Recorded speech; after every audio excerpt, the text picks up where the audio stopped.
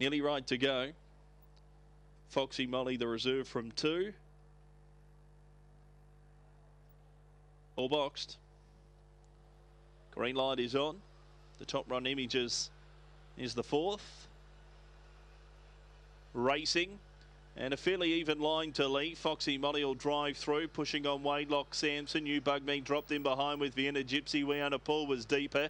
Dinah Drew improved quickly along the rail with Zipping Chaser and shot out the back was Allen. Around the turn, the inside Foxy Molly with Wadelock Sampson at the pair. Dinah Drew back to the inside. Zipping Chaser. Zipping Chaser with a big run along the inside will win it. Zipping Chaser first. Maybe Wadelock Sampson, a pimple in front of Dinah Drew there for second and third. Fourth in was Foxy Molly, then Vienna Gypsy. They dropped the rest off. Uh, Alan, we own a pool, and you bug me were distant trailers, 22 and 70 the run.